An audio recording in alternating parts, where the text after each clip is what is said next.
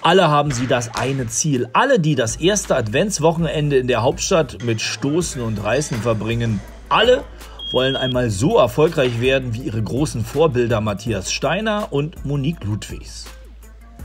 Annika Pilz vom TB03 Roding ist es, die nicht nur in dieser Woche in Berlin die Gewichte zur Hochstrecke bringt. Sie hat sich nämlich für die Jugend-Europameisterschaften am kommenden Wochenende in Israel qualifiziert und natürlich gibt es auch schon entsprechende Ziele.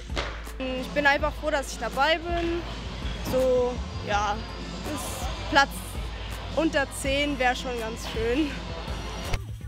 Gewichtheben ist ein schwerer Sport und das im wahrsten Sinne des Wortes. Ein Sport, den man nicht unterschätzen darf. Gewicht und Muskeln treffen hier aufeinander. Konzentration, Disziplin und Kraft schließen den Kreis.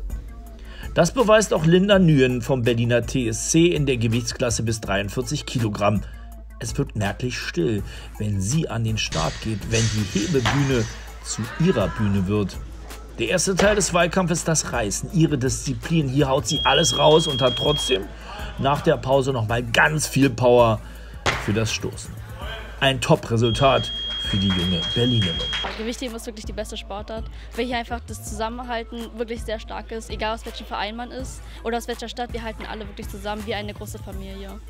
Je schwerer das Gewicht, desto größer die Freude.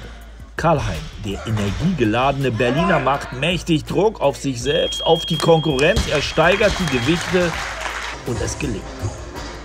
Für ihn gehört Heben zum Leben.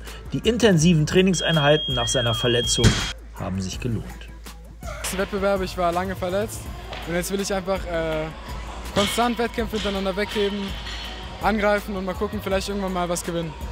Natürlich ist es noch ein weiter Weg, um international ganz oben dabei zu sein. Und natürlich wird nicht jeder, der das erste Adventswochenende in der Hauptstadt mit Reißen und Stoßen verbracht hat, am Ende so erfolgreich wie die großen Vorbilder Monique Ludwigs und Matthias Steiner. Aber wenn sie weiter dranbleiben, dann wird es ja vielleicht was für den einen oder die andere. Träumen ist schließlich erlaubt und Träumer sind am Ende immer Gewinner.